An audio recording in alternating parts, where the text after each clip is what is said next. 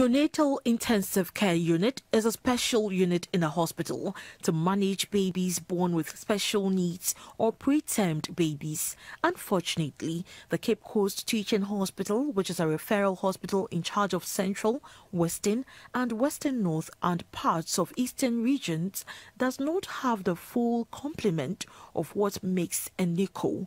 A major challenge especially has been the lack of space to accommodate these children. The facility is making do with what they have created a special care baby unit in the face of the challenges. Out of the 903 babies with special needs admitted at the facility, last year 396 which is about 40% were preterm babies. Currently, there are 21 children on admission and 12 out of it are pretermed babies being managed with only 5 incubators. Interestingly, a baby is on admission from Ivory Coast.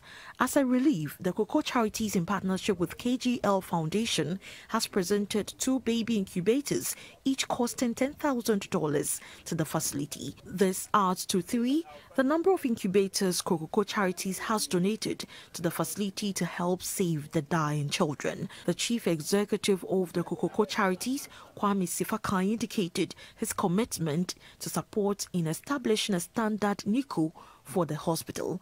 The CEO of the Cape Coast Teaching Hospital, Dr. Eric Kofi Ngyedu, was grateful to Kokoko Charities and their partners for being a friend to the hospital.